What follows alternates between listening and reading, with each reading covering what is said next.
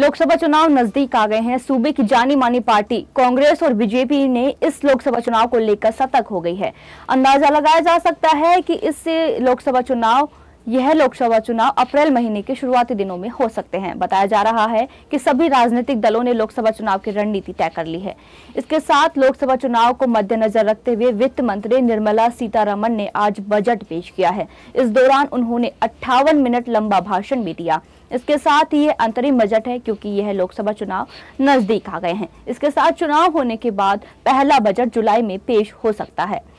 हर बार की तरह भी इस बजट में परंपरा को बनाए रखने के लिए लोकसभा चुनाव की घोषणा नहीं की। दरअसल, अंतरिम बजट में किसी तरह की लोक लुभावन घोषणाएँ नहीं की जाती है और इस परंपरा को इस बजट में भी बनाए रखा है।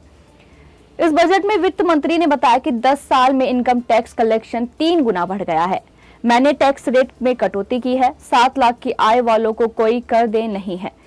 2025-2026 तक घाटों को और कम करेंगे। मंत्री ने बताया, हमारी सरकार सर्वाइकल कैंसर के वैक्सीनेशन पर ध्यान देगी। इसके साथ ही वित्त मंत्री निर्मला सीतारमण ने कहा, पीएम जनधन योजना के तहत आदिवासी समाज तक पहुँचना है। विशेष जनजातियों के लिए विशेष योजना लेकर आए हैं। इंफ्रास्ट्रक्चर विकास में तेज़ी आई है। सरकारी योजनाएँ जनता तक पहुँच रही है। हर घर जल योजना से पानी पहुँचाया जा रहा है।